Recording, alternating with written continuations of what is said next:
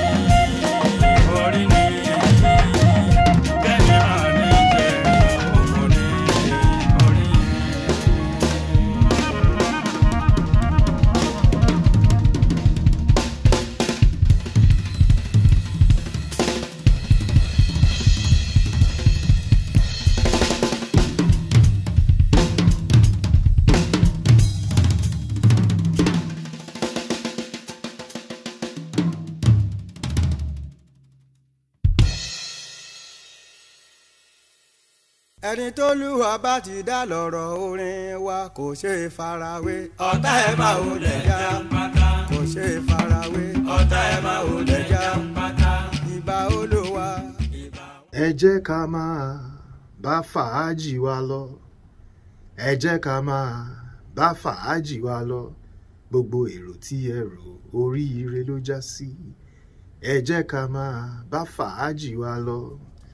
That was a chorus from CFRJJ, Clear Road for Jaga Jaga by Fela Kuti.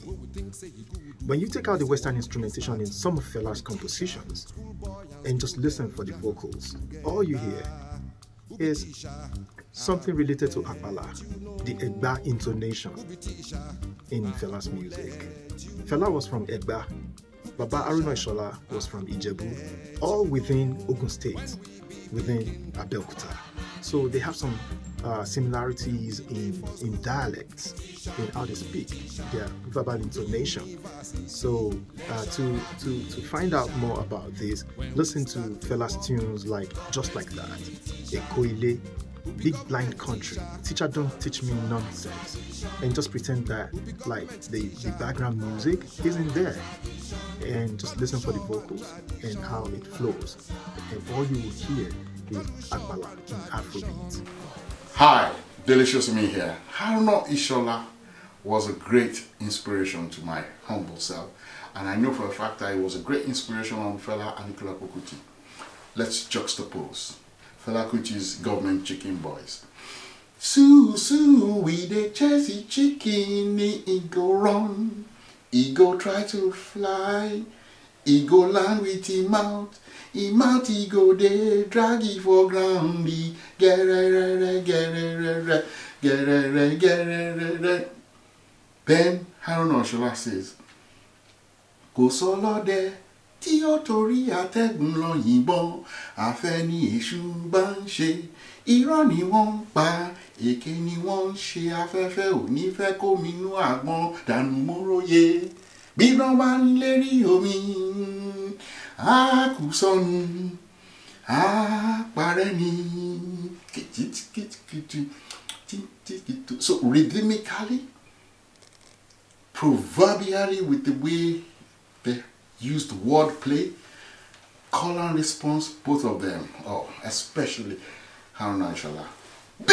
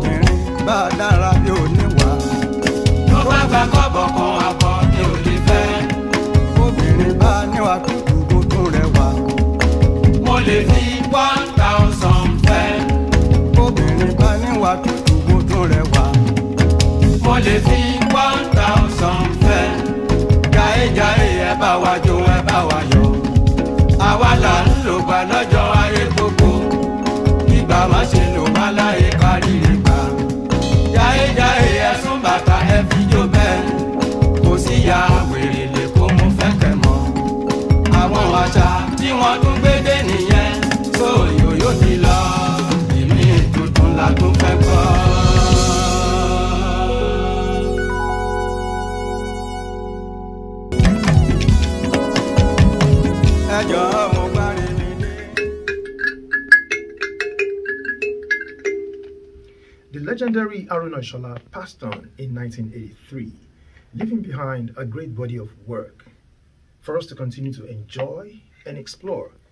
His son, Musiliu Haruna Ishola, carries on his father's legacy.